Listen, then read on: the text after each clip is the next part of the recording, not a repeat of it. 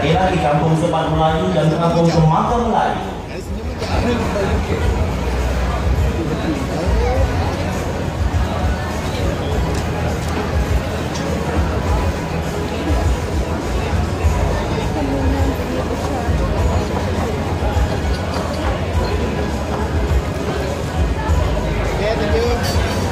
Dipersilakan Kampung Tepat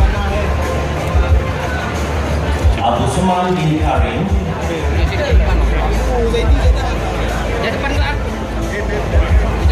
Adnan bin Karudin